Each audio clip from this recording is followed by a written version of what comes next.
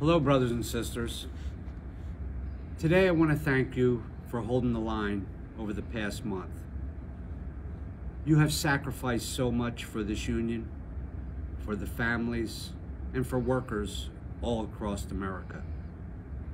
As you know, our issues are just.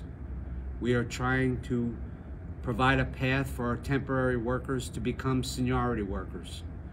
We are trying to secure health care that makes sense for our families and all the people around us that we know and love. We are also fighting for higher wages and all that goes with that. Yesterday, the International Executive Board had a special session.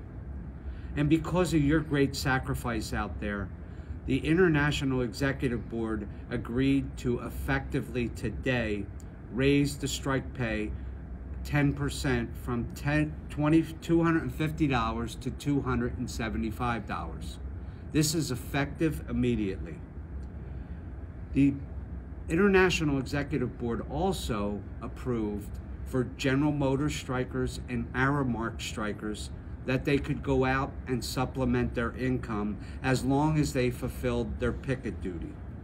This is a big step for the International Executive Board but it was done because we appreciate all that you have been doing and all the sacrifices that you have put out there. We know how hard it is raising a family on that amount of money, but standing up for what you believe in.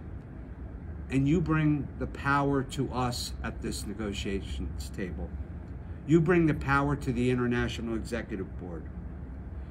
When we decided to strike, that was our last resort. We were forced into that situation by General Motors.